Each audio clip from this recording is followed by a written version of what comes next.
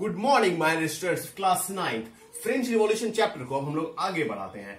आगे बढ़ाने से पहले दरअसल, ये जो हमारा टॉपिक है the outbreak of the revolution the outbreak of the revolution इस टॉपिक को हम लोग पढ़ेंगे।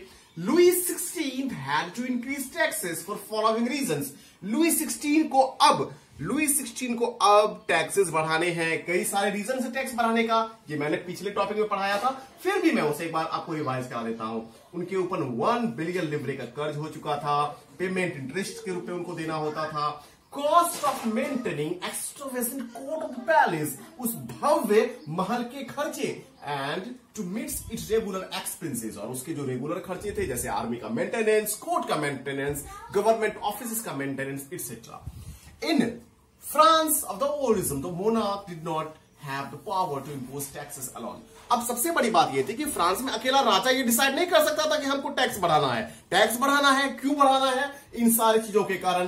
तो राजा ने क्या करा? He had to call a meeting of the state general उसने स्टेट जनरल की बैठक बुलाई क्योंकि राजा अकेले डिसाइड नहीं कर सकता था। स्टेट जनरल की बैठक बुलाई। स्टेट जनरल था क्या? इसको समझते हैं।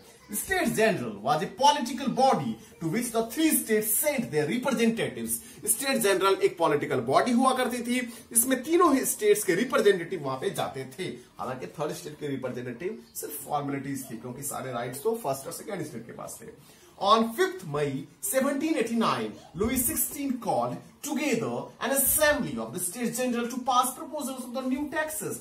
पाँच मई सत्रह सौ नवासी को लुई सोलवा लुई सिक्सटीन जो है वो असेंबली की बैठक बुलाते हैं टैक्सेस रिलेटेड जनरल को पास करने के लिए अब सीधे चलते हैं उस महल में जहाँ पर वो बुलाती है बुलाते हैं वो मीटिंग होता क्या है the first and second states 300 representatives were seated in rows facing each other of two sides.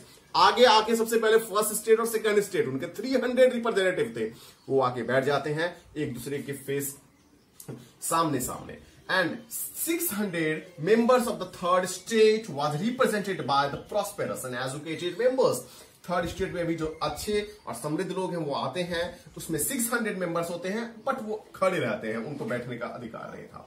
Peasants artisans womens were denied entry to the assembly किसानों को कारीगरों को कामगारों को और महिलाओं को उसमें एंट्री करने की इजाज़त नहीं थी नहीं थी उनको एंट्री करने की इजाज़त अब क्या होना है अब होना यह है कि टैक्स को लेके वोटिंग होना है अब तक जो फ्रांस में होता था जो वोटिंग राइट्स का अर्लियर अधिकार था each state had one vote हर एक स्टेट को एक वोट का अधिकार था। ये नहीं कि जितने लोग आए हैं वो वोट देंगे, ऐसा कुछ नहीं, बल्कि हर एक स्टेट का एक वोट अब थर्ड स्टेट के लोग इस चीज़ को मानने से इनकार कर रहे थे। Now the third state demanded the voting now be conducted by the assembly as a whole और थर्ड स्टेट का कहना था कि नहीं, जितने लोग, उतनी voting because there are maximum number of third state in the compare of the all two states they were 600 and they were just 300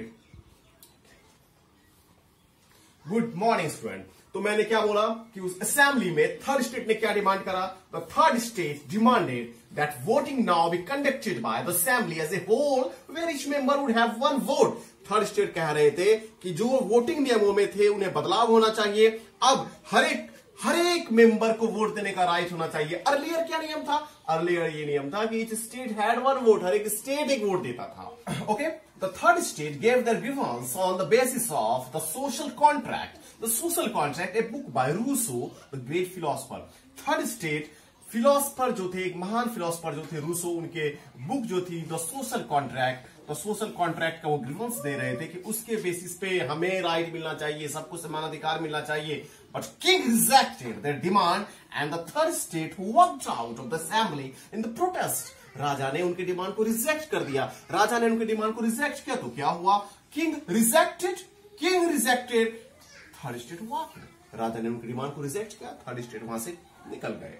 Out of the assembly the protest third state the state general की meeting को boycott किया, वो निकल गए निकल गए, और इन लोगों ने कहा, इन लोगों ने कहा कि we are the spokesperson of the France हम लोग फ्रांस के स्पोक्स पर्सन है, हम लोगों पर फ्रांस डिपेंड करता है।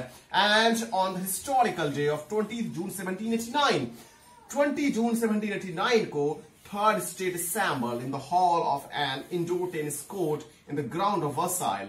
उसके बाद ये जो थर्ड स्टेट थे, ये असेंबली करते हैं मीटिंग करते हैं कहाँ पे? Indoor tennis court ground Versailles and they declare themselves national assembly और उसको नेशनल असेंबली डिक्लेयर करते हैं।